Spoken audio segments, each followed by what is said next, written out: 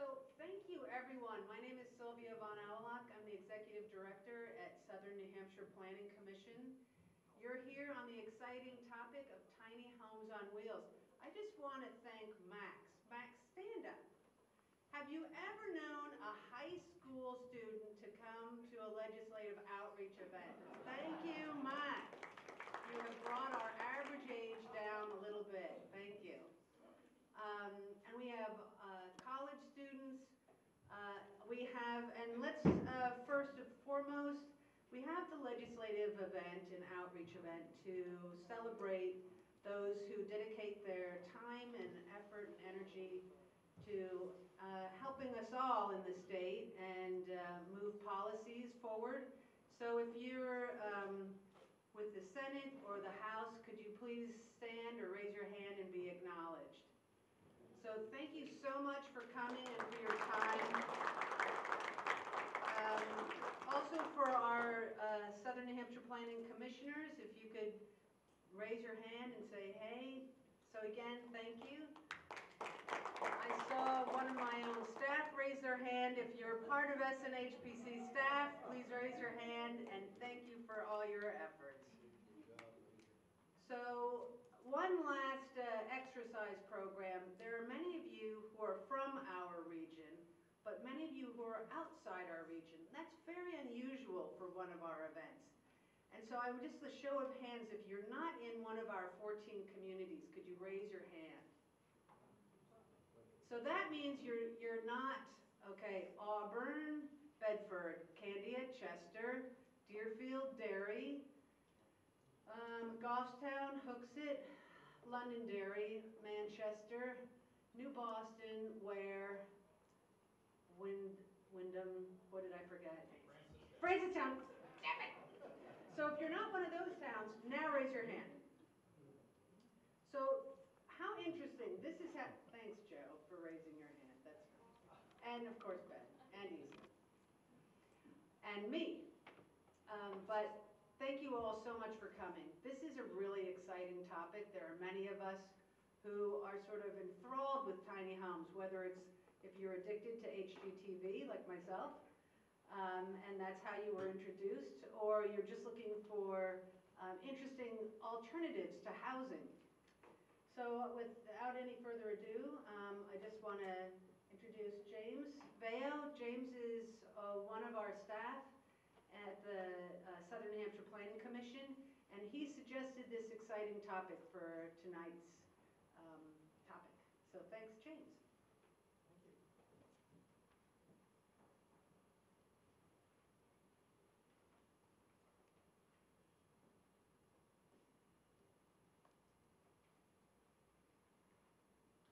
Thank you, everyone, for the opportunity to be here uh, to speak with you. And in a moment, I'm going to introduce our panelists. But first, I want to uh, share with you um, uh, a little uh, research I did on uh, the topic of tiny houses. So you'll give me a second here, I'll just sign into this.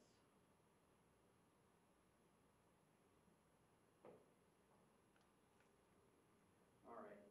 So, I did a quick Google search homes, and uh, instantly 20 million hits. So uh, people are talking about them. And uh, it turns out tiny homes are available to purchase today. If you go on Etsy, you can buy someone's handcrafted tiny home for $32,000. Or if you're more cutthroat, you can go to eBay and buy one. And uh, we saw one on there for $58,000. There's a multitude of uh, opportunities to buy tiny homes uh, through the World Wide Web, it turns out. Uh, in a quick search of uh, manufacturers in the Northeast, I found several companies that actually produce tiny homes in the Northeast. Uh, tiny House Northeast uh, here in New Hampshire is one of our panelists. Jamaica Cottage Shop in Vermont. Tiny Homes of, of Maine in Maine. And B&B Micro Manufacturing in Mass. They're out by North Adams. It's kind of interesting. Um, one of the things that's really uh, curious to me is uh, how tiny homes became a phrase and how it uh, became uh, sort of part of the known language that we all talk about today in terms of housing. Um, one of the things I found from looking on YouTube was that uh, there was a strong following for people who have uh, fully adhered to the tiny house lifestyle. And so I wanted to uh, emphasize a couple of those.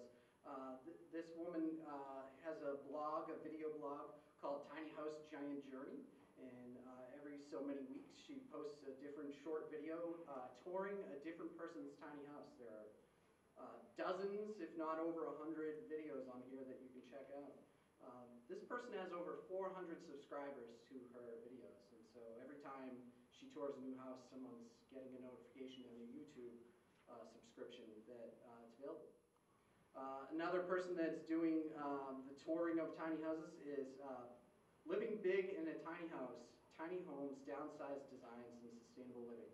This uh, video blogger has over 1.2 million subscribers, and so there's clearly a following for uh, tiny homes uh, that has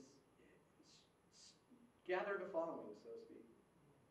So I went a little further and I went into Google Trends. Anyone can do this. You just Google Google Trends, and uh, you can type in any phrase you want and find out how that word has been searched through the Google search bar over time. And so what I've done is I put in the term tiny house, starting back in January 1st, 2012, going up to January 1st of 2019. And what you see here is it's a relatively flat, and then in just a little past February of 2014, it spikes up pretty quick. Uh, the top of this uh, is, the scale for this is 0 to 100, where 0 represents no searches for the term, and 100 is the maximum number of searches that happened in a given month. So as you can see, uh, 2014, the term kind of spiked and then uh, bounced around up pretty high for a while there. And uh, it turns out that uh, uh, February 2014 is the month uh, that uh, Home and Garden Television released Tiny House Hunters television show. It's now in its fifth season, and has millions of viewers, and so we can pretty clearly see that Tiny House lexicon is really born out of home and garden television shows. Uh, I just want to bring up real quick another thing in terms of uh, how that's impacting our economy. Uh, This is Tuxbury Tiny Home. It's just a little vignette of four different, um, they're like little hotels you can rent right here in New Hampshire. They're little tiny houses. So this summer, if you're feeling adventurous and you want to uh, spend a weekend in a tiny home to see what all the fuss is about, you can go to Tuxbury Tiny Home and rent the Henry and uh, get the industrial experience, or go to the Murphy and know what it's like to live in a, a navigator's dream tiny house. And with that, I would like to introduce uh, our, our uh, panelists today and get started with the presentation. Uh, Our first speaker is Isa Bauer. She is the project manager and lead designer for Tiny House Northeast. Uh, ICE's custom design work and project management encompasses all aspects of tiny houses, from design building for the aging, disabled, and chemically sensitive, to materials choices and resourcing, from space efficiency to utility systems, and from municipal zoning to off-grid options. Um, her role as project manager, she affords uh, the opportunity to communicate with hundreds of anxious but hopeful tiny home buyers. Broadly informed on the multifaceted subject um, of tiny houses, ISA has presented in dozens of Mass, Maine, and New Hampshire libraries, schools, and professional organizations from Seattle to Providence. ISA, uh, ISA, uh, my, my excuse, excuse me for that. It's uh, pronounced ISA. I, I've uh, been trying to beat this out of myself all week. So, um, uh, Isa has also served on her town's planning board as well as served on, as chairperson for the energy committee in, in her community. Um, in graduate school, she spent much of her time researching and sharing information about green building, renewable energy, and other sustainability topics via the radio show she produced, The Long View. Uh, upon graduating, she focused on the development of green-focused and building trades businesses. Our next speaker is Joe Mendola. Uh, he's the senior advisor investment for investments in real estate with NAI Norwood Group out of Bedford, New Hampshire. Uh, the sale of income-producing property is Joe's focus. He provides brokerage services in uh, Manchester, New Hampshire, Vermont, and Maine uh, for investors looking for income-producing properties. Joe holds uh, a BA from Rider University, and he's a senior vice president at NAI Norwood Group, uh, where he has been employed since 1975. Joe has managed every aspect of real estate acquisition and development projects uh, for Norwood clients in Massachusetts, New Hampshire, and uh, Massachusetts and New Hampshire since 1982. In addition to developing over 35 million in commercial properties during his time, Joe has completed a wide variety of commercial brokerage assignments that range from industrial, retail, office leasing, uh, as well as sales of uh, these type of properties. Uh, Joe is a member of uh, New Hampshire Self-Storage Association Board of Directors in um, the National Association of Realtors. Joe is also a re- representative for the town of Warner on the Kearsarge Regional School Board. And then our final panelist uh, today will be Ben Frost. Ben is the uh, Director of Legal and Public Affairs for New Hampshire Housing Finance Authority, also in Bedford, New Hampshire. Ben is um, uh, at, at the Finance Authority, he coordinates federal and state legislative initiatives and serves as internal legal counsel. He frequently lectures on issues of- affordability and workforce housing, uh, land use uh, law, and ethics. Ben ha- ha- has um, um, over 30 years of experience as a land use planner and over 20 years as an attorney. He is a founding member of the Governing Council of uh, Housing Action New Hampshire and a low-income housing advocacy organiz, which is a low-income housing advocacy organization, and for 10 years has served on the New Hampshire Energy Efficiency and Sustainable Energy Board. Ben, as the is the treasurer for, of both New Hampshire Planners Association and the Northern New England chapter of the American Planning um, Association. Ben holds a BA and an MA degree um, in geography with a focus on USSR environmental policy. That's an interesting, maybe a topic for another, another day. From Colgate University and Syracuse University, respectively, and a, uh, respectively. And uh, he also has a law degree from Cornell Law School with a concentration in business law and regulation. He lives in New Hampshire, uh, Warner, New Hampshire as well, where he serves as the chairman of the planning board. And in his spare time, Ben, he and his wife, uh, Christine, seek to employ permaculture principles in the design of their woodland paradise.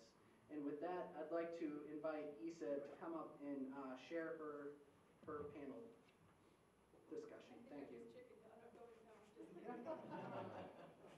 I realize that I probably could use.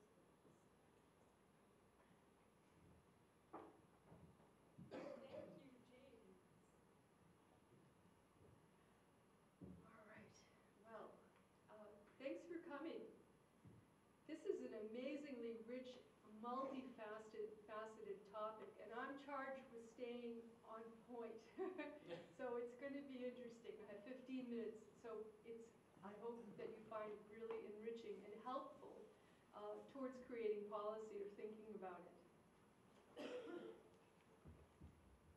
So what the heck is a tiny house on wheels? Well, as opposed to a static tiny house, a tiny house on wheels uh, generally abides by certain dimensions. Um, It's a term that sort of evolved to mean a specific set of criteria, more or less. Um, It's on wheels, obviously, and uh, thought of as something that's movable as well. Um, Probably a really important thing is to dis- distinguish between tiny houses on wheels and static tiny houses, or those that are on foundations. Tiny houses on foundations have to meet building code. Very simple distinction. Tiny houses on wheels can't actually, by law, the law of physics, meet building code. And I'll talk about that in a few minutes a little bit more.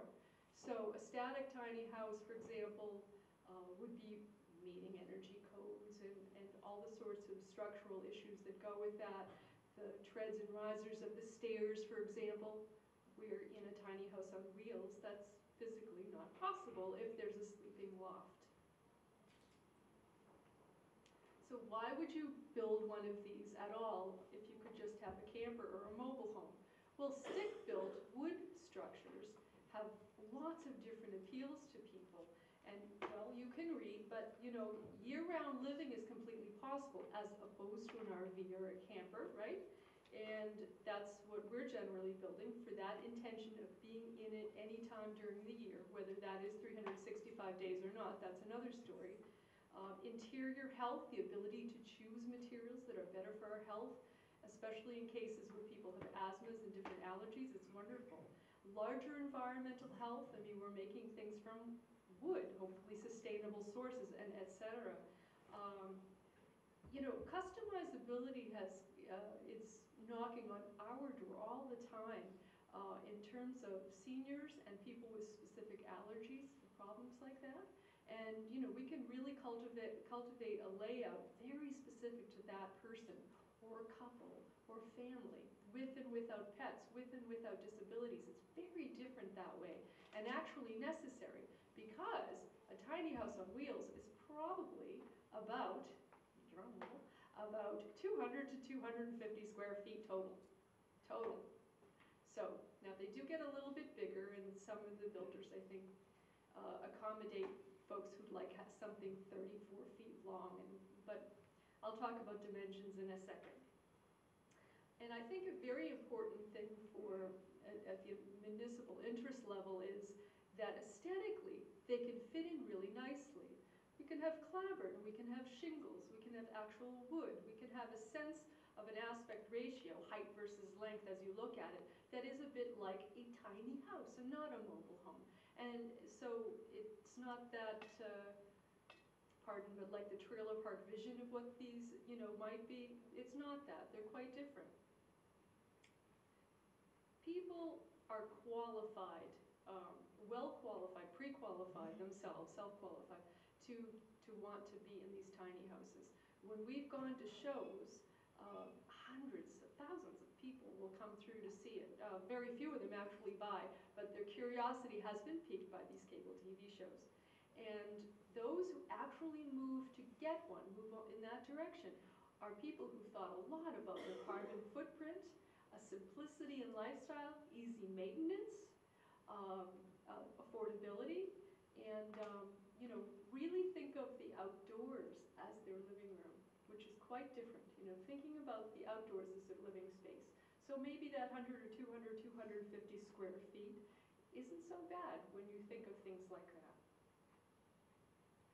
Now, sustainably, uh, we can think about you know choosing materials even to the extent of not even finishing some things at times, like cedar, uh, possibly not ideal for the builder, but for longevity. But the, there are options like that. Sustainability versus an RV uh, or a mobile home, uh, the classic uh, example of those, they had formaldehyde in them. I guess we're not doing that anymore.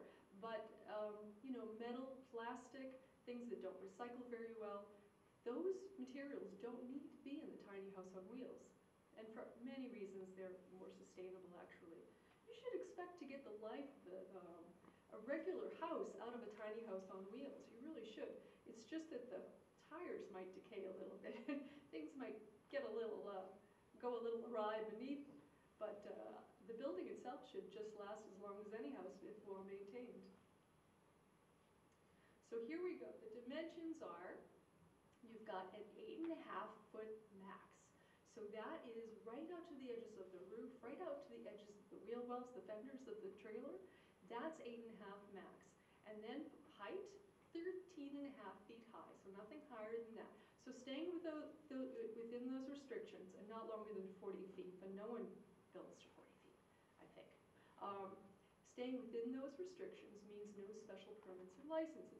And then there's also the consideration of weight, and, there's a little bit more to that. But generally speaking, um, an eight and a half by 13 and a half high, eight and a half wide by say 24 feet, which is common, by 13 and a half high, can travel down the road. You just need the right vehicle. And in the case of 24 feet, uh, I'd be most comfortable, for example, with uh, one ton, maybe even a one ton pickup truck with a dual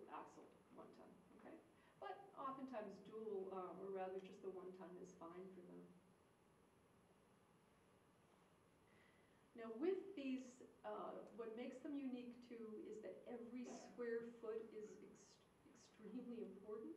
And so I, um, you know, I can't emphasize enough how very, very custom these are, again, on, a, on the customer basis, a couple, a single, sometimes even roommates. I've, I've done a design where um, it was for a farm, there were two young ladies who tended the horses, and they were on two sides of the building. It's kind of neat. And then they had this common area in the middle for, for cooking and for bathing.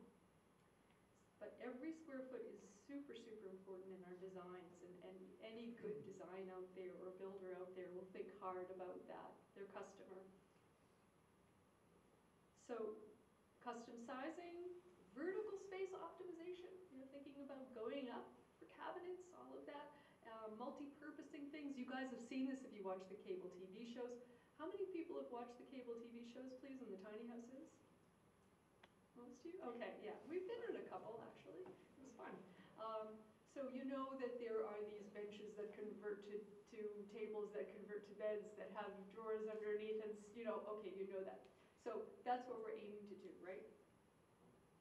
Um, And then after that, we can add those aesthetic details, especially in the outside, that will make it pleasing for the neighbors to look at this building, you know, to enjoy it themselves.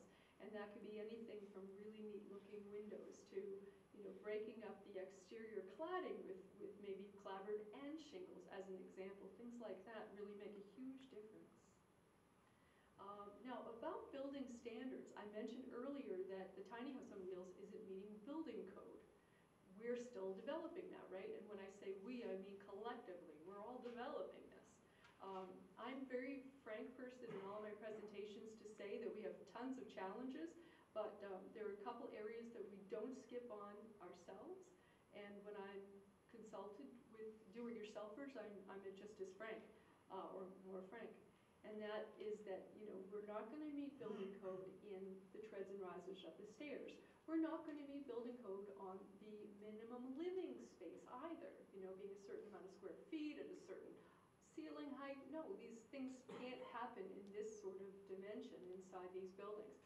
Uh, but what, what we are gonna do, and voluntarily, is meet life safety code, which is critical. So those things that would protect people um, from harm, you know, be, be that the egress, be that alarms, be that, uh, you know, the, the electric, all of those things need to be right on target. And then on our part, um, we have a system of bolts and braces, an incredible, incredible amount of hardware uh, that not only bolts this to the trailer permanently, but assures a rigidity that's very unique. And um, I like to say that that's super important. Um, structural integrity is what I'm talking about. Maybe I should actually look at the slide. Okay. Now, this is everyone's favorite. Um, so, actually, the utilities, um, most often it works best when it's a complement of systems that work together. And honestly, our most popular toilet is, or way to, you know, deal with, uh, with human waste, is the composting toilet. The composting toilet done correctly um, is as innocuous as anything, and in effect can be actually compost. It's compost in progress. It takes a long time. The pathogens are in there, but as a mix of the human waste and peat moss, as an example, um, you're creating a compost in progress. And um, another thing that people do is sometimes, you know, they'll have an RV style toilet, like a marine toilet, the same idea. And, you know, maybe they'll combine the two. Um, but there are things that folks do to combine these different technologies. One thing that I'm not a proponent of personally is this idea that any, that our, that our human waste would be bagged and disposed in the waste stream, okay? No way. So the compost in progress, or the composting toilets are actually very, very effective. As far as water, that's probably the trickiest one. If we're not tying into the utilities, because it's on wheels, and in theory, it's getting transported, right? So if we're not tying it into the utilities, how are we getting our water? Well, if it was getting delivered, we'd be going through it like this, that'd be a very expensive endeavor. So water is an interesting thing. Again, we come to that, that- that idea that a complement of systems is the only way that will work. And so maybe we'll have stored water, maybe we'll have um, rainwater, you know, we'll be doing uh, catchment systems, and uh, that, that's great. Now perhaps if we're lucky, uh, there's a nearby hose, the hose can be heated to uh, keep it from freezing, that's all. Just like they have to water animals year-round in a cold climate up here, right? So that's a possibility of tying into a hose with that particular amount of pressure and water. Um, Heat as well, the complement of systems.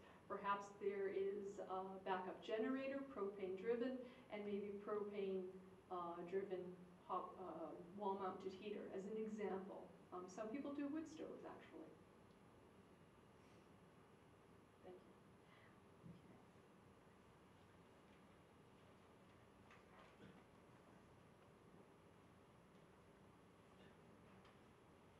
So.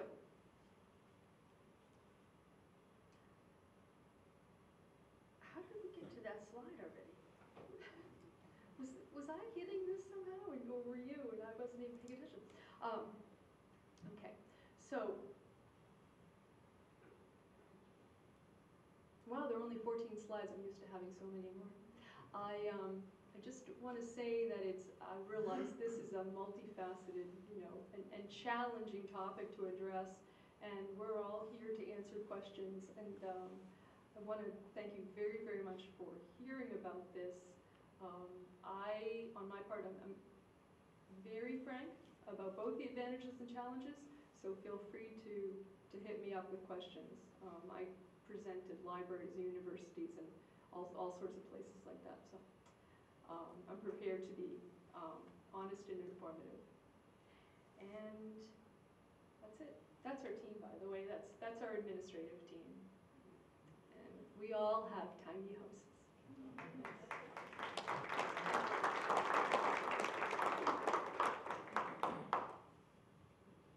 Next, I'd like to invite Joe Mendola from NAI Norwood Group to come and uh, share some thoughts about the legislative possibilities of going small in New Hampshire. Where's that down arrow? Well, thank you all for coming. Um, I'm going to try to behave myself and stay within the time frame here. Uh, But um, the whole, uh, I'm, I'm, I'm going to take the blame for this whole thing, the whole conversation. I started doing this about two years ago uh, when I found out that um, there was an affordable housing crisis in the state. And um, what I had learned after talking to my colleagues, my clients, and my customers, I'm in the real estate business, commercial real estate business, is that we do not have enough millennials staying in the state. We are not attracting enough millennials to come into the state to handle the greatest single positive problem that we have is filling about 1,800 advanced manufacturing jobs, starter house, starter uh, jobs, and middle-income jobs uh, because we have not been able to keep the uh, young people in the state. There's two reasons why young people do not either come to the state or stay in the state, and I can deal with one of them, I can't deal with the other. The first one is New Hampshire's not cool. Uh, I can't do anything about that. I think New Hampshire's pretty cool, as a matter of fact. The other is, um, is the lack of affordable housing, and that's what I do. I solve problems in the, with real estate, and that's why I've spent the last two years going to luncheons and breakfasts and meetings, and all that has happened is we've restated the problem and throwing our hands up in the air and saying, we hope that the cities and towns will lower their regulations so we can get the cost of housing down. Well, um, that's not gonna get the job done, so my wife said, Joe, if you really wanna keep millennials in the state, sit down with me and watch the DIY channel and listen to these people who are buying tiny homes. And I said, you gotta be kidding me. She said, sit down. So, uh, after about the third show, I decided to DVR the whole series, and what I found is that every person, uh, to a person, were millennials. And, um, so I said, dear, you're right. Um, so, uh, what, what I am offering, what I'm trying to do is to allow Tiny House on Wheels uh, to become a legitimate um, allowed use, and if, if my bill, HB 312, passes with your support, uh, we are the first in the nation primary state. We will be the first in the nation uh, that will allow tiny house on wheels as a permitted use. And that will get national appeal, and that will keep a lot of our millennial folks in the state and bring more in, which is what we really need. Um, So th- that's what really got me going. And uh, what we need to do is we need to provide housing that our young people want, okay? Uh, We're not talking about your father's mobile home, which we'll talk about that in a minute, but we need to think outside the box. And I have the unique um, position, because I'm such an old person, uh, to be present at the creation of the greatest high-tech boom in the Northeast, which is called New Hampshire. I, I lived in Marblehead at the age of 26 because it was cool. I'm with you. I was cool. Uh, decided at 26 to form a family. Decided that need the place to do that was not Marblehead, Massachusetts, uh, but New Hampshire. So I came up to New Hampshire and I said, well, how can I make this thing happen? Well, at that time, there were two young professional entrepreneurs by the name of Sam Tamposi and Jerry Nash. Unless you got gray hair like me, you don't know these people that well. Uh, and they risked their time, their capital, and they went down to a couple of fellows at MIT called the Olsen Brothers and asked the Olsen Brothers, would you expand your new high-tech digital equipment corporation in New Hampshire because it's a great place to live? Well, they sold them on the idea, and if you go to uh, Continental Boulevard in Merrimack, you'll see a 500,000 square foot campus that used to be um, the headquarters in New Hampshire for Digital Equipment Corporation. At that time, one of the largest computer companies in the world. It is now the back office of Fidelity Investments. And so I met another couple in Amherst by the name of Carl and Louise Norwood. And they had just got through selling what looked like the executive housing stock New Hampshire had to offer. And that was any straight front 1840 colonial they could find on a Village Green. Well, that ended really fast, so I'm in the world of demographics. We had a demo, Carl real, and, and, and Louise realized we had a demographic problem.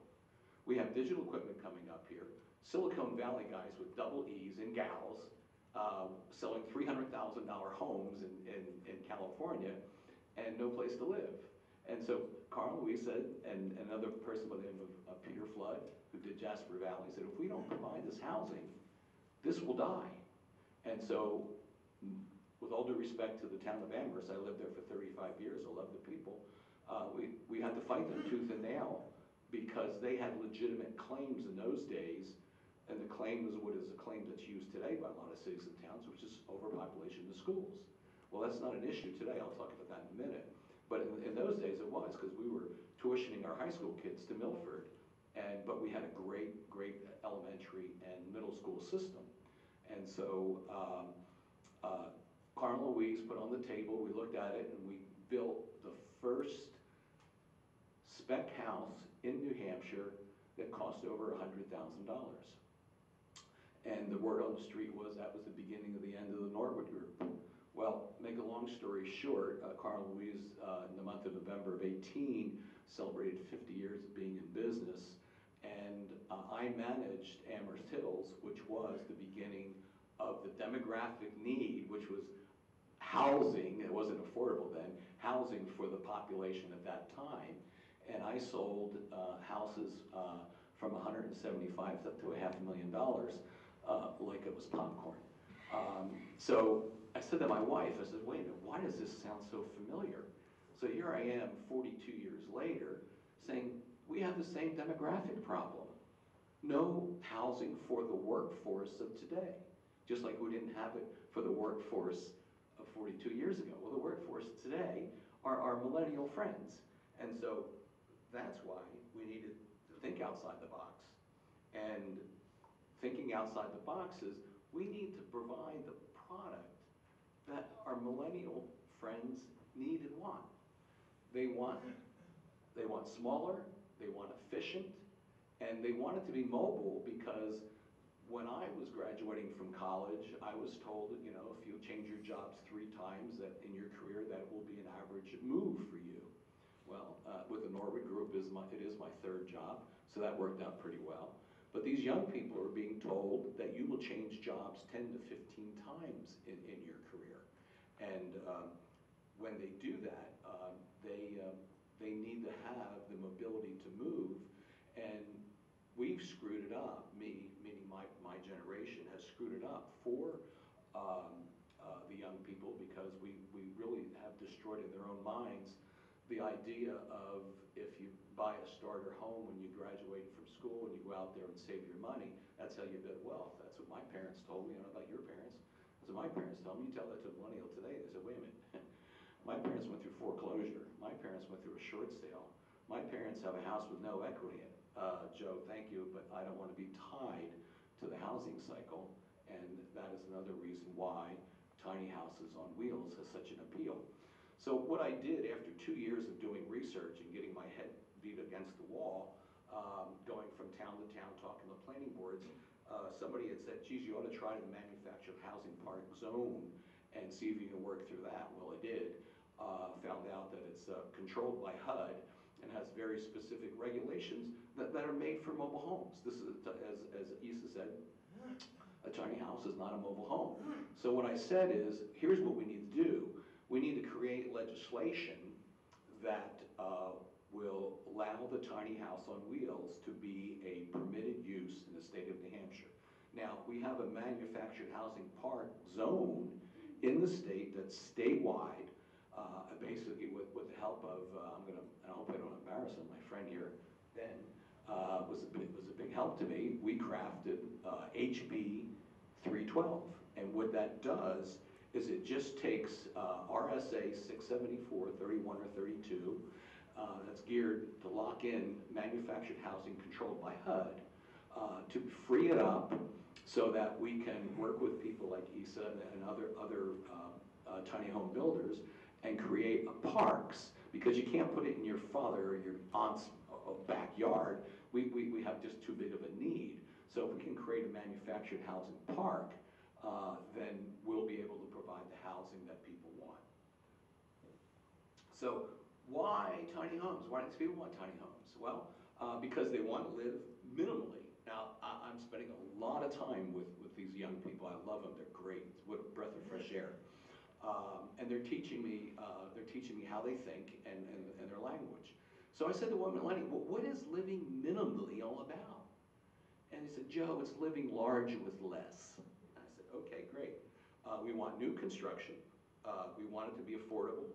And you can buy a tiny home for somewhere between 45, you can buy a luxurious one for up to 85,000 or more. Now the other part of the population we need to take care of in this state, and they all come down and cry, the managers and owners of our resort communities. We have, we have with our tourists, we have great, a great tourism industry, and we've priced the hospitality workers and the people who run these, uh, these uh, chairlifts, and we price them right out of the market. Well, if they can't find a place to live, what are they gonna do? They're gonna go down south, and they're gonna job down south, and our, our businesses will go down south and follow them, and we could kiss the business profits tax uh, goodbye. Uh, because the businesses will follow where the lake workforce isn't at 2.7%. Um, we're, we're not doing what we need to do to provide the employees for, for our, our industry, which is just a, a great boon to the economy. So um, the tiny house on wheels is, is what makes it happen. And this is, as it says, this is not your father's uh, mobile home, okay? A lot of people want to attach it to the mobile home industry, but it's, it's not. And uh, when I talk to the, I go to planning boards and I talk to the towns, they give me the story of the, the mobile home park that was set up before zoning came in, and it looks like uh, a, not a nice place. And, and besides, uh, our millennials don't want to live in a mobile home park. They want to live in a community with other people that think like them, want to live large and, and uh, think minimally. And so if we can pass this legislation, um, then we can make, make it a permitted use, just like a mobile home is. And then we can provide the parks around the state that will keep the, the one part of the, of the millennial problem in the state, and that's really affordable housing. Could you imagine living in a beautiful, luxurious tiny home on wheels for $85,000? Um, it, it, it, makes the, this issue go away. Yep, okay. Uh, so the, the key to the tiny home living, as Issa could probably tell you, is, is, is we store vertically, okay? That, that's what makes the house even bigger than what it is. And the, the the wording that I'm using in my bill, I'm taking it right out of the page of, of the HUD requirement, I just don't have their seven-foot ceiling in there. And it's basically an, uh, an eight by forty-foot permanent chassis on wheels. So that'll get you to three hundred and twenty square feet. Okay, theoretically, a traditional a tiny house is somewhere between hundred and fifty and four hundred square feet. But between 275, 320 square feet, we can get it all done.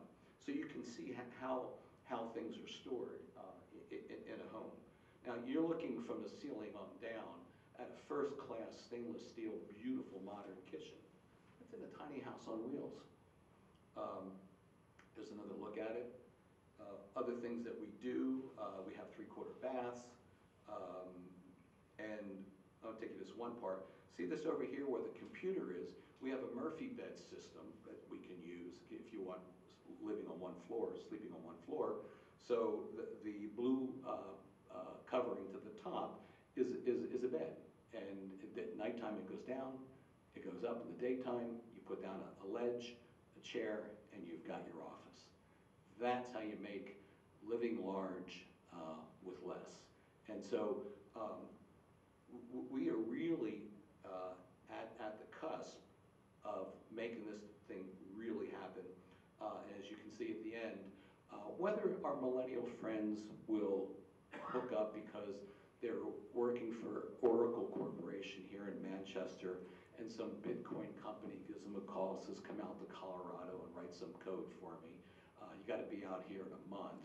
So, um, whether they hitch that, that tiny home with thirty-day notice to the park and drive out in their F, Ford F-150, or they just rent it to, to another, uh, another millennial, uh, person, they're good to go. But they do not want to be tied to our housing center, because we've done a really poor job of letting them know that there's, that there, there's some, some equity to be built up there. So, um, if, if, whoops, wrong guy, okay. So, in, in, in closing, uh, HB three twelve, it's gonna come before the, uh, uh, municipal and, and town committee.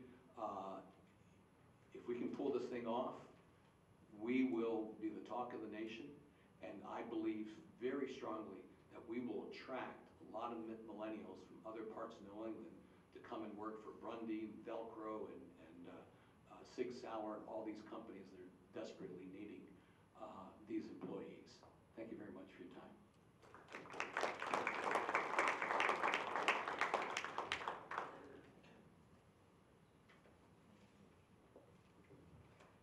Next up, we're gonna have Ben Frost uh, from uh, New Hampshire Housing Finance Authority come up here to help us demystify some of the existing legislation around housing in New Hampshire. Thanks, James. Uh, Good evening, everyone. So you've had two really interesting, colorful presentations, and now you get the lawyer talking about regulations. How, how exciting. But it is really exciting stuff. Um, How many of you are members of, of PlanLink? Raise your hand. So PlanLink is the, it's a, the online discussion forum, it's a listserv uh, maintained by the Office of Strategic Initiatives, um, unmoderated, but anyone can, can join it, and it's, it's a discussion group about local planning and local regulatory issues. For the past two days, uh, because of uh, a question asked by my friend Scott Osgood, uh, PlanLink has been lit up with this discussion about tiny houses and tiny homes and all kinds of things coming out. Some of them, some of them right, and some of them wrong. Uh, that's the way that these discussions go. Um, but the fact is that, that this discussion on PlanLink is representative, I think, of a level of frustration at the local level, frustration of municipal officials at not knowing how to deal with tiny houses because there's no real guidance for them, and that's true. And so I commend my friend Joe for having uh, House Bill 312 introduced. Is that the solution? I don't know. Uh, It's, it's a start anyway, and it's, it it is an opportunity for the legislature to start to grapple with this issue that municipal officials are already dealing with. So, the fundamental question I want to ask when, when we're talking about tiny houses is, does it have wheels or does it not have wheels? If the answer is no, then it's just a small house. It's nothing other than that. It's just a, maybe a very small house. It has to meet the state building code, it has to meet the fire code and any local amendments to those codes. Could be your primary dwelling, you could have a, you could have a tiny house on five hundred acres. You could have a tiny house on two acres. As long as it meets the zoning ordinance, then you have no problem. It could be a detached accessory dwelling unit if your municipality allows them. Note that some communities do have minimum uh, unit size standards, so uh, Joe and I live in Warner, uh, Representative Clyde Carson uh, is also from Warner. Uh, Our our building code in Warner requires dwelling units to have a minimum uh, size of 300 square feet. Why? I don't know. It- It's just there, it's a standard. So anyone who wants to create a new single-family home in Warner has to start at 300 square feet. Um, And other towns have uh, some occupancy standards. So is there anyone here from Durham? Durham. Uh, Sarah, uh, does, do you know, does, I know that the Durham, Durham zoning ordinance has a size standard, and I think it's 250 square feet per person in a unit? Is it 250? Okay, so that's Durham. And you, Durham being the home to UNH, you can imagine why Durham wants to have that kind of standard. Um, So these are all the kinds of things that you'd have to deal with when dealing with a small home. Um, The, the International Residential Code, which is created by the International Code Council, uh, sets a baseline standard. Uh, The question, though, is which International Residential Code? The ICC amends it every three years. New Hampshire is on the 2009 suite of codes that were promulgated by the ICC, including the 2009 uh, International Residential Code. Um, So, so that's, that's an issue. I know the legislature has been dealing with this in the past few sessions, and I think there's, uh, there's legislation in, again, this year that would bring us up to the 2015 code, skipping over 2012. Uh, The ICC has promulgated the 2018 code, so they're, uh, they're ahead of us there. Uh, In 2015, with the 2015 International Residential Code, the ICC made a change to minimum standards. It used to be that uh, a, a dwelling unit would have to have a room of at least 120 square feet, and any other rooms would have to be at least 70 square feet. And with the 2015 uh, residential code, they changed that. They, they said the, the minimum room size has to be at least 70 square feet. So you could have a single room house of 70 square feet that meets the International Residential Code. Um, And what, why did they do this? Well, there was this fascinating uh, bit of information put out by uh, the, the ICC when it was releasing the 2015 residential code. And they said um, uh, that there were uh, advocates um, who were, uh, who wanted to, you know, they were advocating for tiny homes. And what they were saying was that uh, the proponents of minimalist living, that expression, minimalist living, this is the International Code Council talking about minimalist living, have advocated smaller dwellings to reduce environmental impact and provide lower living costs through reduced mortgage and maintenance expenses. And they recognize that the 120 square foot standard was not based on any scientific analysis. But they did do an analysis and they found that 70 square feet is really the minimum size you need to be able to use a space for which it is intended, that is, human habitation. Uh, and so they went from an arbitrary restriction to something that is based upon some more objective standard. Uh, they also recognize that uh, there are, are a lot of um, uh, outliers out there, that is, people who are living not under the code. And what they said was, it may also encourage greater acceptance of and compliance with the residential code by those pursuing a minimalist lifestyle instead of being renegades. So, uh, also on Plan PlanLink has been this discussion of the 2018 International Residential Code Appendix Q. I keep wanting to call it Avenue Q, but um, stick with appendix. Um, And what the, the 2018 uh, code has done is it updated, they came up with these standards for tiny homes. This is what Appendix Q is all about. And it's, it's about dwellings that are 400 square feet or less, meaning down to 70 square feet. So really between 70 and 400 square feet. But I almost did it. Appendix Q applies only to tiny homes on foundations. It does not apply to tiny homes on wheels. Industry advocates are advocate, and they did in, with the 2018 code, uh, industry advocates, that is tiny home industry advocates, are pushing the ICC to adopt tiny home on wheel standards as well. So we will look for that with the 2021 iteration of the International Residential Code. So, that question again, does it have wheels? Yes.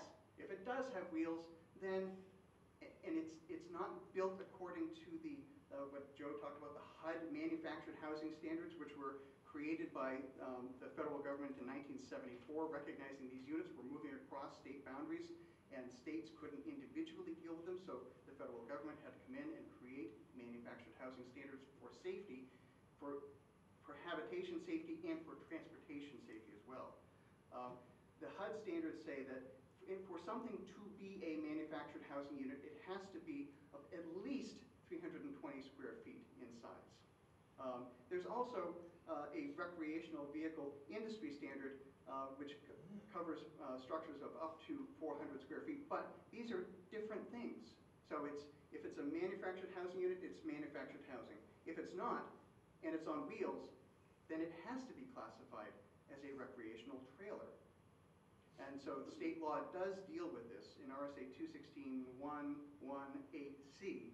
Uh, It, it talks about uh, the limitations of recreational trailers. They are not intended for permanent occupancy. They're intended for temporary occupancy. That's the purpose of it. And it's not a reflection of the quality of construction. It's really, it's, it is a limitation on campgrounds, which is really where these things are focused and where this law is focused. Um, But it's also to protect uh, manufacturers from liability. So manufacturers of recreational trailers will always say, not intended for permanent occupancy, uh, because they don't want people to have expectations that might not be realized by what they're selling to them. So then we come down to local zoning. Um, Manufactured housing, since 1985, under state law, manufactured housing must be allowed in every municipality that adopts a zoning ordinance. Uh, And it can be allowed in one of three forms. Manufactured housing on a single lot, manufactured housing in a park, or manufactured housing in a manufactured housing subdivision, which is different from a park. Is, are tiny homes on wheels manufactured housing? Well, they could be if they were built according to HUD standards and had these dimensional, uh, met these dimensional requirements in the traveling mode that is on the road. They have to be at least eight feet wide and at least 40 feet long, or when assembled, have to be at least 320 square feet. If it's not manufactured housing, then essentially by state definition, because there's nothing else in state statute, it is a recreational trailer, but then it's only intended for, for temporary occupancy. And zoning ordinances under state law are not required to allow recreational trailers. So you see the problem. There's no way to do this unless you're gonna do it as manufactured housing. And I'll bet that Isa does not wanna be, be building things according to a HUD manufactured housing standards. You probably could, but you'd wind up with something very different from, from what you're building. Very costly. So the problem then is not only this lack of definition, but that there is no current code under state law in New Hampshire to yield something that Joe wants to do. We need to change this somehow. Um, So this comes then to the legislature, and the legislature has some issues that it will, will have to address if it is going to do something to solve this municipal problem. Uh, It has to choose an appropriate building code, Uh, whether it's waiting for 2021 IRC and hoping that the ICC develops something for tiny homes on wheels, that's possible. Or choosing some other industry standard, relying on industry experts to advise the legislature on, on what to come up with from a life safety and from a transportation standpoint. How are these things taxed? Oh, taxation. Well, we do rely on taxes in New Hampshire, uh, certain ones, others not. Uh, If they are real property, then they can be taxed with their local property tax. But if they're not real property, meaning they're personal property, chattels, if you will, then they can't be taxed as, as real property. Manufactured housing, under state law, and, and New Hampshire was the national leader in this, manufactured housing is real property, even though it can be moved. It is real property. Why is that? One, taxation. Two, financing. You can get a mortgage in New Hampshire on a manufactured home. Can't get a mortgage on a recreational trailer. You have to do UCC consumer financing at a much higher interest rate and terms that are not anywhere near as favorable as a mortgage. Um, If, even if it were uh, real property, uh, you might run into some sizing standards. Um, If it's, if it's manufactured housing, FHA has certain requirements, uh, uh, Fannie Mae has certain size, I think 600 square feet. Why they come up with that, I don't know. So we have to deal with lending standards, we have to deal with the issues of foreclosure, if these are to be treated as real property, as House Bill uh, 312 does. Um, And we need to compare that with how they're going to be treated uh, as opposed to manufactured housing. And then there's the whole thing about utility connections. And is that something that can be addressed properly in, in state statute? Um,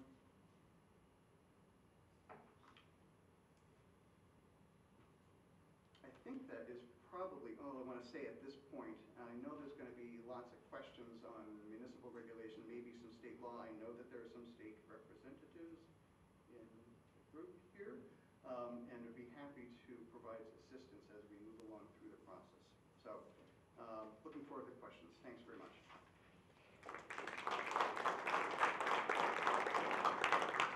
Thank you very much to our speakers. They did an excellent job. Uh, We want to give an opportunity for people to ask questions.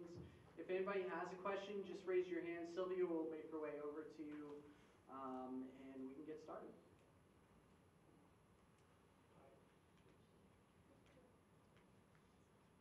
Hi.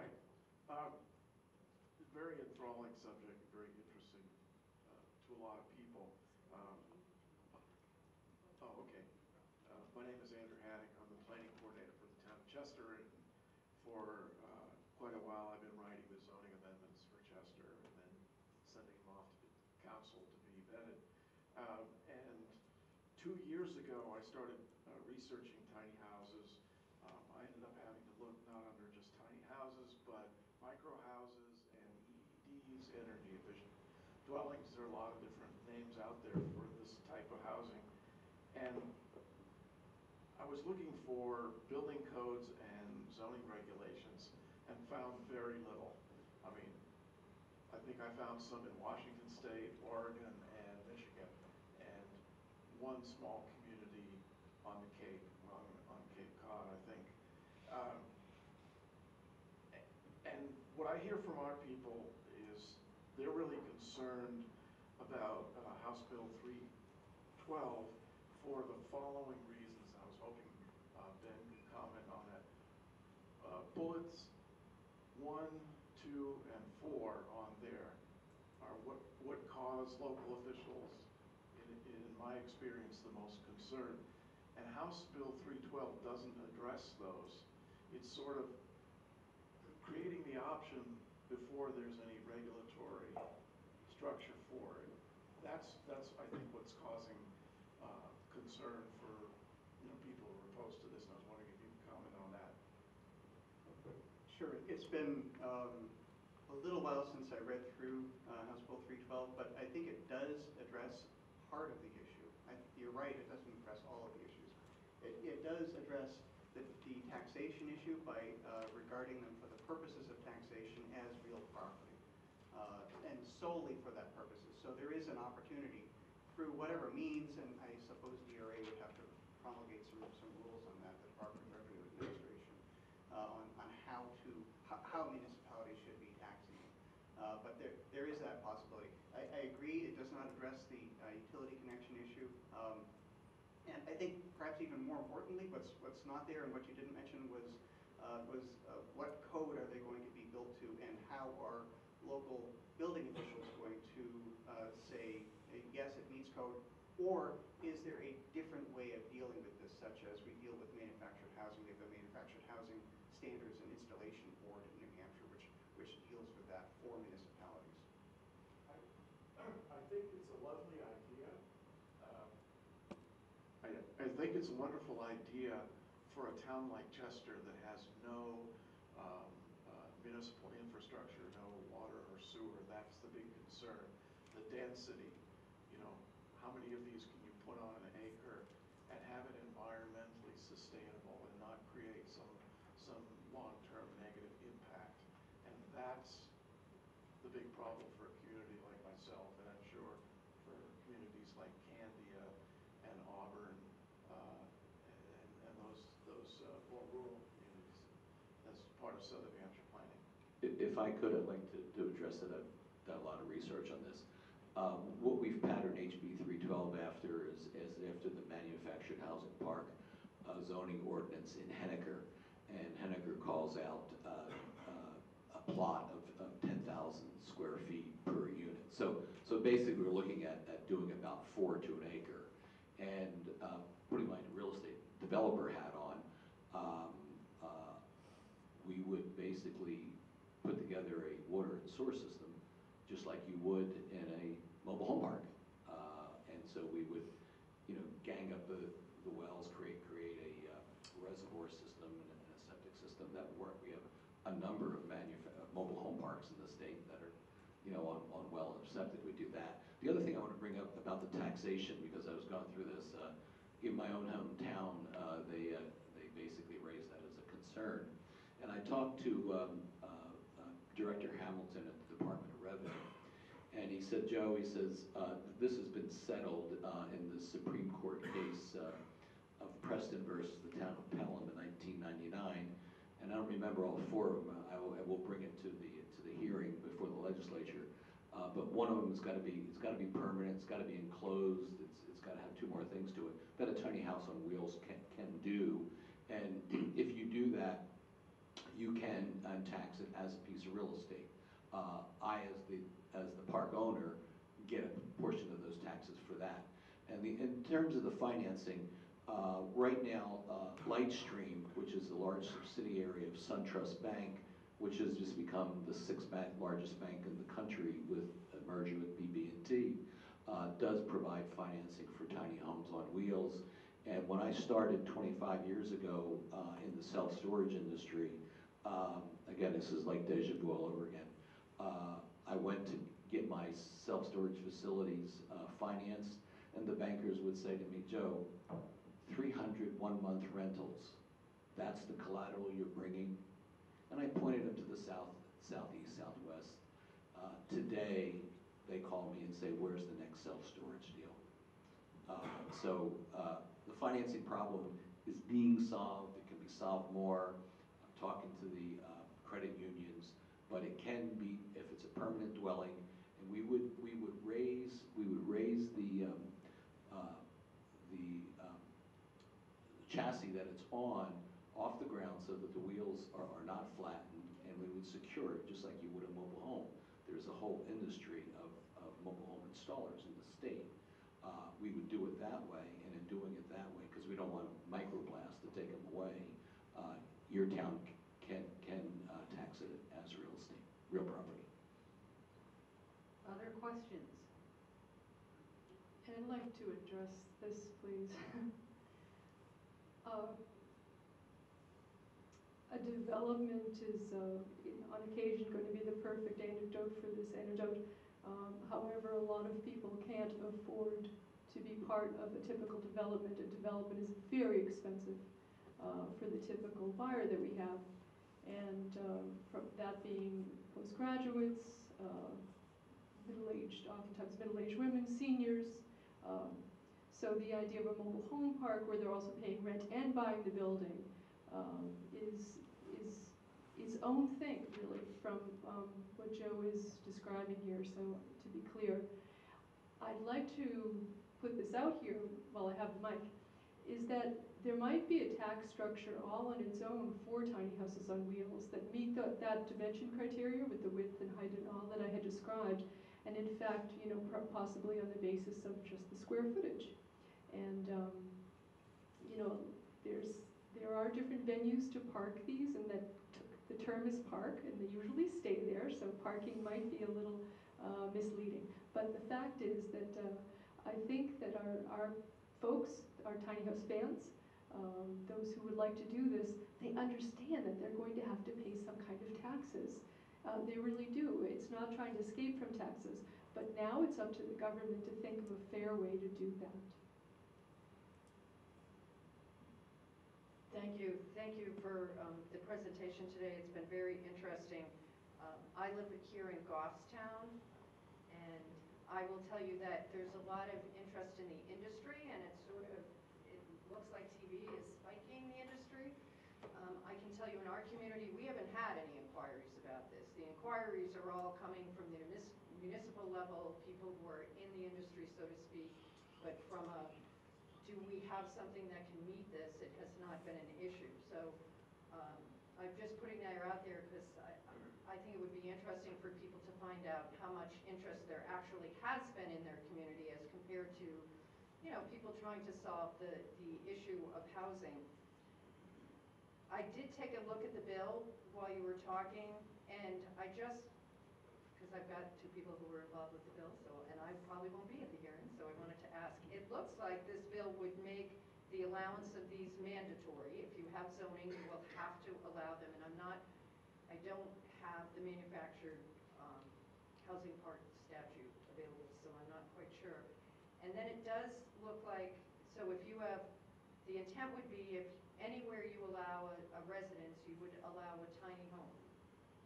And that the second part of this is a tiny, is a tiny house park of at least four units in which no more than one of the units is the property owner. So it would appear that this is, this tiny house park is really targeted to a rental market, which is, I think is what you're saying you're targeting for millennial. If you're telling me we, we have up to four, but only one can be the owner.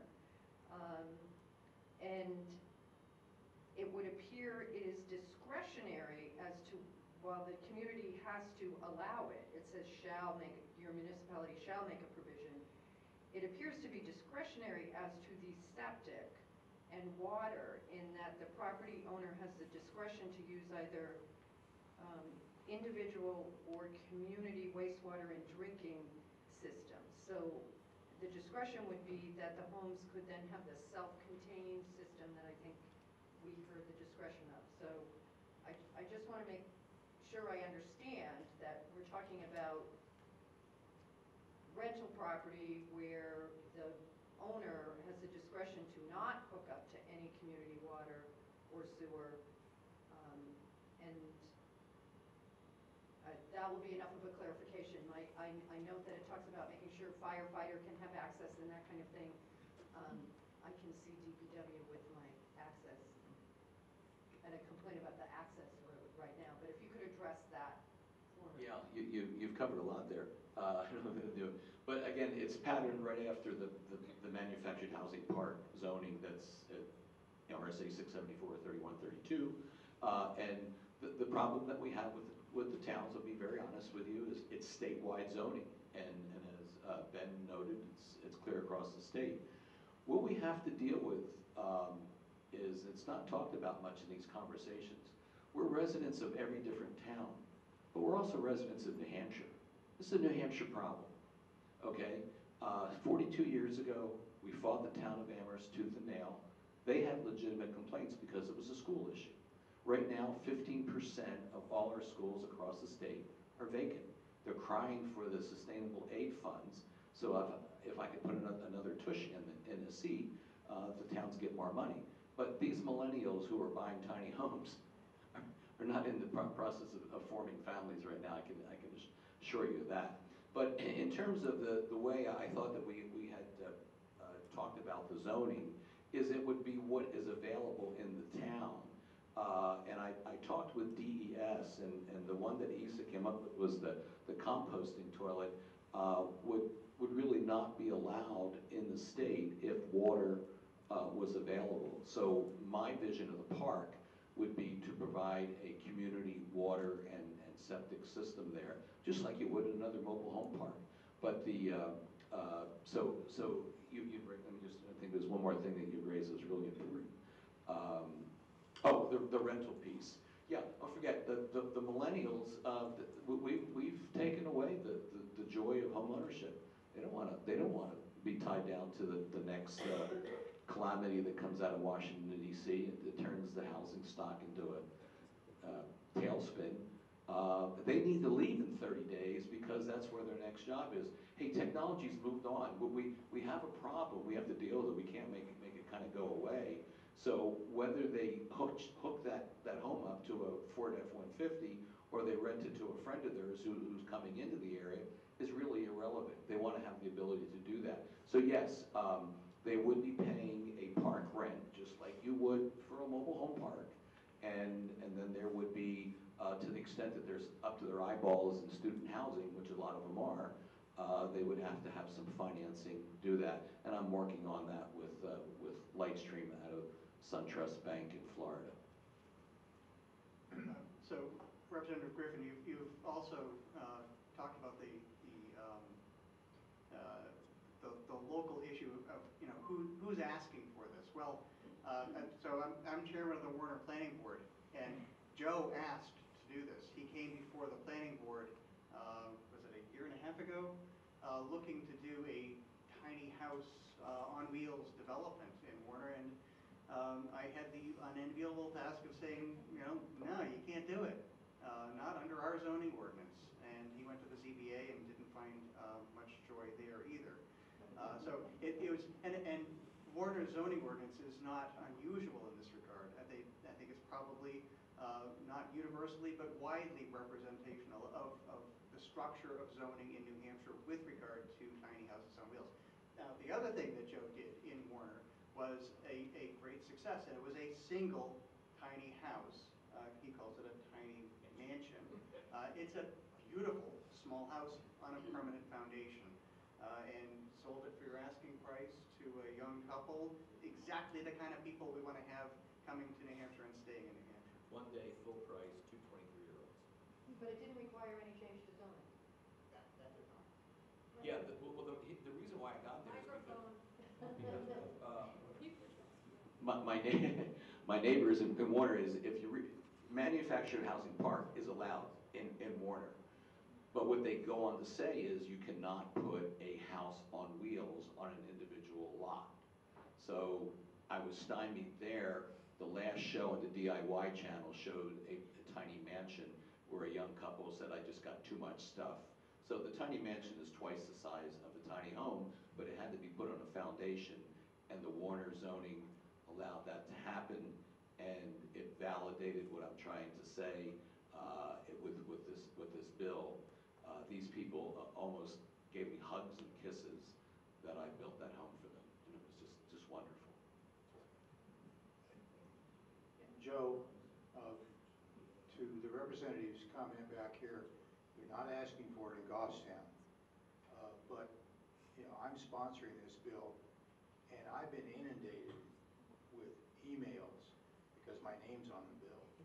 uh, You know, from people saying, when are you gonna get it done? You know, I have space to put it, but I need, you know, I, I, I can't get permission from the zoning commission, the planning board. So there's a lot of interest out there. I was really surprised when you got me into this. I- yeah, But uh, clearly, there's interest here in this state. I do want to talk about the demographics. Um, The fact is that, yes, these people have kids. They're planning on having one or two. You know, this is very common. And pets, dogs, cats, multiples. Um, So don't, don't think this is a, you know, a single or couple only issue too. This is, these are people who will have children and in the school system, you know, and there will come back to taxes again too. This is a fair thing to think about this. Um, So I'd, I'd want to be clear on the demographics. Uh, I'm addressed specifically as both an educator and a design builder all the time. So I've fielded hundreds, if not thousands, of inquiries. And I can tell you what that group looks like very specifically. Uh, Predominantly, it's postgraduates, young people, late 20s, 30s. They often have school loans still. Uh, They tend to be educated, college educated, secondary school, and um, post-secondary. And then we also have a, a huge uh, segment of um, the interest are middle-aged women who think about having something that's going to be a lot easier to maintain just by virtue of its size, which is kind of neat. So maybe not uh, monetarily driven, but maintenance driven. And then finally, older people, um, seniors who may want to just put a tiny house alongside their main house and their children and grandchildren are living, living in the main house. The smallest contingency are, are disabled people who are looking for something extremely customized to accommodate uh, wheelchairs and allergies and that sort of thing. An autistic boy once I had, um, a young man I, I'd done some design for as well. So those, those are the demographics. It's pretty broad, pretty interesting that way. Uh, Linda Coonard, Francistown Planning Board. Um, A a statement and a question. Uh, Francistown has had inquiries, and why can't I have a tiny house? And the answer is because you can't. You can, you can, you can park it someplace for a certain amount of days, and then you have to move it, or you can't. Um, And I- I'd like a clarification on exactly what the tiny mansion is. Is it, was it on wheels in the foundation, or it's not on, No, the no, wheels have it- disappeared? Warner does not allow a a tiny house on wheels. The wheels got gone. individual lot. Okay, so I found the non-conforming lot. I found a non-conforming lot. And uh, so the, the plan for the tiny mansion was on, on a foundation, it was 650 square feet as opposed to 320. And so uh, I, I did not run afoul of the zoning, and that's why we built it. Other questions?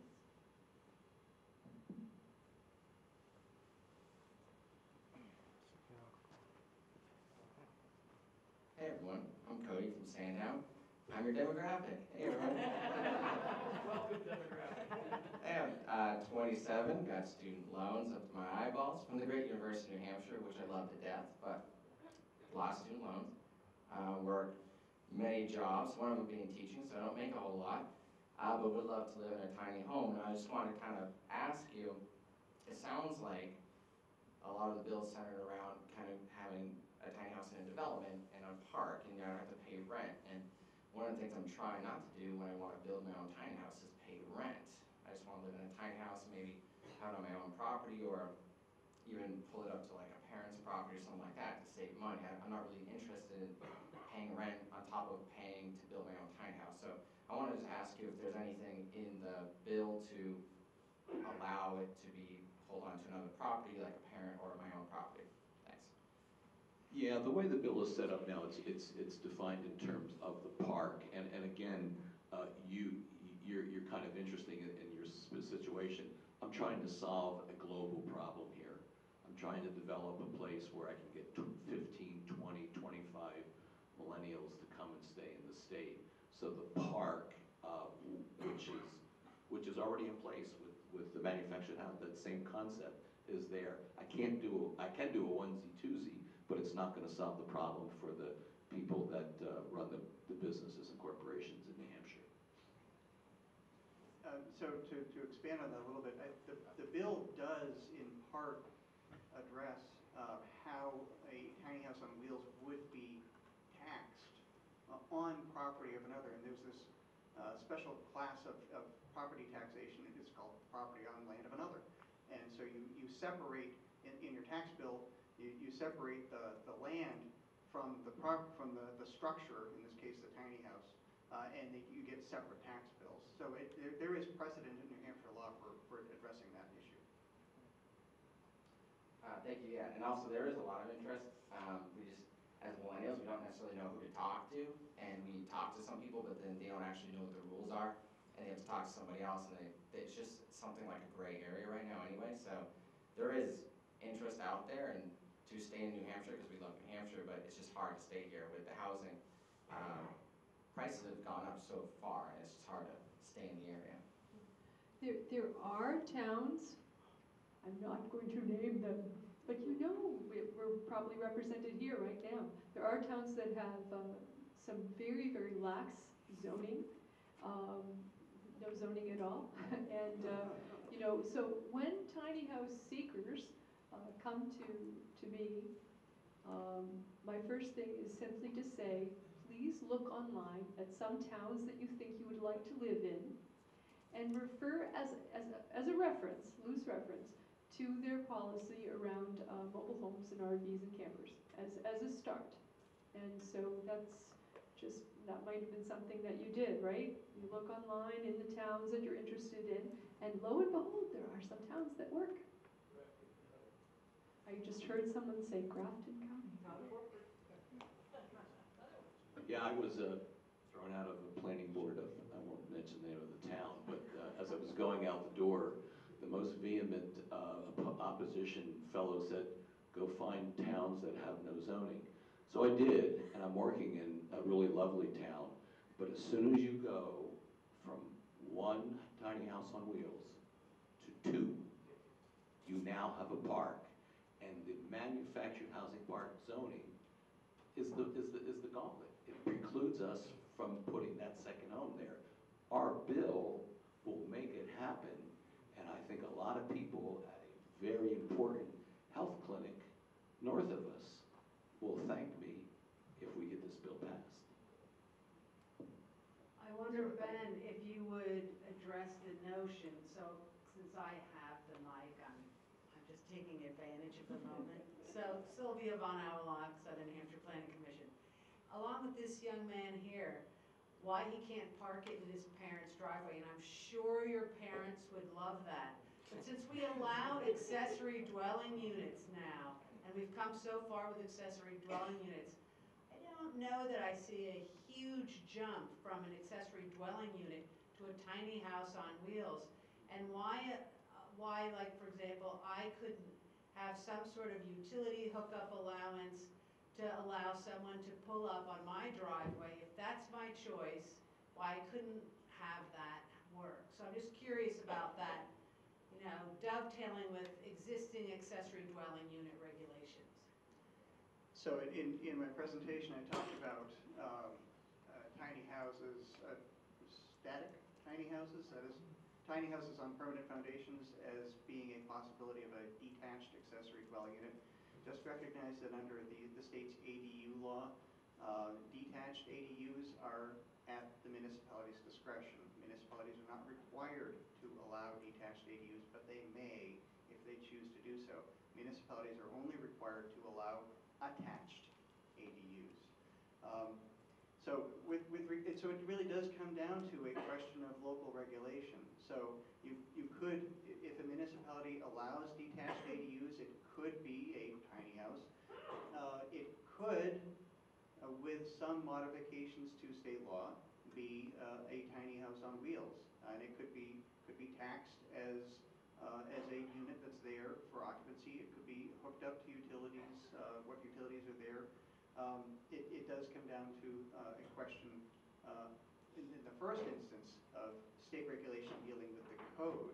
That is, what, what is the code to which these things are being built for life safety standards? I mean, you're, talk to your fire chiefs, people. They, they will go nuts if these things aren't built to some uh, reasonable code. Uh, And then the, the question of local zoning. With regard to communities that don't have zoning, um, uh, there is a, I think it's still on the, the website, on the OSI, the Office of Strategic Initiatives website, there is a, a map of uh, municipalities in the state that don't have zoning. And I think there are 19 of them. Um, Most of them north, but there are a couple, I, I used to be the executive director of the Upper Valley Lake Sunapee Regional Planning Commission, and two of my communities uh, did not have zoning. Uh, So they're- they are out there, uh, and, I- and I, I don't think that the, the state law on manufactured housing parks would be an issue at the local level if there's not local zoning. Um, It would really just come down to a question of what kind of septic system can you put in, and will it meet DES standards? We have another question back here. Uh, yeah, Scott Osgood, yeah, you know, the, reason I kicked off that, um, that, uh, conversation on PlanLink was, um, actually about our RVs, you know, we have, uh, a customer that comes up part, part-time, um, and, and they are millennials, and they like to come up for the weekends, and they, and, and they brought a beautiful tiny home on wheels, And the fact is, many towns that I'm aware of do allow uh, RVs, you know, for a certain amount of time, three months, in a couple of towns if there's um, another building on it, or six months. And that's pretty much their plan. Unfortunately, um, I, I- I don't see where our zoning in the town I'm working in would allow something like that. And as a result, I went looking a little further, and I said, well, I don't see anything that says I can't do it either. Um, um, And so there's a, and so I was just looking for a little more backup on it, so when I do bring it before the zoning board, I've something to work with. Well, this is, this is why we're having this discussion. Why I'm here. Right. I mean, this, this is in development. Um, You know, I think that the, the safe, there, there are several things that are confronting all the towns. And that is sewage management, taxation, and concerns about how to inspect these. I mean, those are some, some of the, the basis for the concerns. And those are the things that are being developed. And hopefully you'll be talking amongst yourselves and soliciting your constituents for their ideas. Um, But I truly believe, because I'm confronted with these problems almost every day, sometimes seven days a week, um, that I believe that there are systems that can be put in place that aren't any more onerous than ones that we already have in the way that we handle sewage, et cetera, except that they're a little bit different. And I hope that that being different isn't frightening. Uh, There are thousands of years or millions of years of uh, development reasons why we process sewage the way we do, right? Millions of people have died. There are laws very specific, uh, specifically to, to, you know, uh, make us, make it safe for us, right? So we tiny house folks do not want to turn this around and upend the safety at all. But saying that there are alternatives for this, and, you know, just like inspecting for life safety issues, how about inspecting uh, alternative systems for sewage, or water connection, or water catchment, etc. So the conversation is starting here, at this part of, this part of the state, with us being here today. This is really exciting. Hi, um, Kelly Monahan, Grafton County Register of Deeds and Vice President of New Hampshire Register of Deeds Association. This question's for the lawyer. So, it's real property, taxable is real property. The deed comes up, and then they drive to Colorado. How does this happen? Yeah, there, there, there would have to be some, some mechanism to address that. With a bar or something, Because We, we- we deal with the same thing with manufactured housing, although, once they're in place, they're unlikely to move. Right. Although, just, you know, I, I work for New Hampshire Housing, uh, and we do single-family lending, including manufactured housing, and we had one unit that moved to Vermont. We don't have jurisdiction in Vermont. Right. And, you know, how are we gonna foreclose on that? I don't know. Correct, Uh, so that's so- why I'm but- just trying to look ahead. So that, that, that is, uh, it's, um, we, we're already dealing with it with manufactured housing, and I think you'll probably find, uh, that tiny houses on wheels could be dealt with the same way. All right, well, that's it. Um, So I just wanted to thank, James, you wanted to say one couple words? No, please go ahead. I was just gonna uh, offer a round of applause. Let's have a round of applause. Thanks, everyone, so much for coming. Obviously, this isn't the end of the conversation. We're going to keep moving. If you haven't signed in, please sign in. And again, we're happy to serve all of those in our our uh, boundaries, and so glad you could make it. And feel free to mingle, grab a bite to eat before you head out. I just want to say thank you, Sylvia and James and the Southern Commission Thank you. for having me, uh, encouraged to put this on. If anyone wants to contact me particularly, I have a clipboard up here, and just sign your name and email address, your role, and how, what kind of help that I can provide. Thank you. Vice President